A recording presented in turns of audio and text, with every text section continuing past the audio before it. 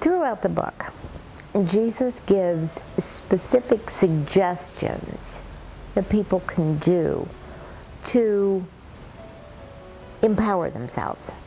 Things that they can do in their daily lives to bring forth the best that they can be. That message kept coming through more and more to be shared.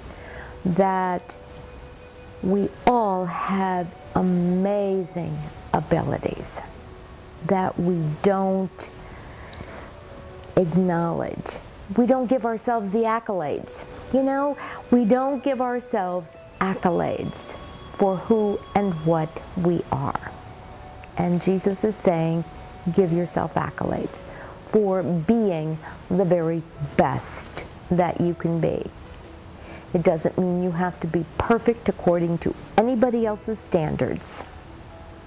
Just be the best that you can be in any given moment or situation, because that's what he did.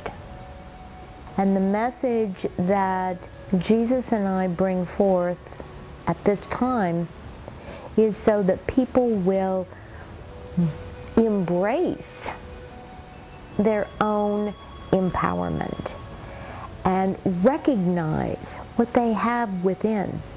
And then their lives will be more joyful, less fearful, more productive.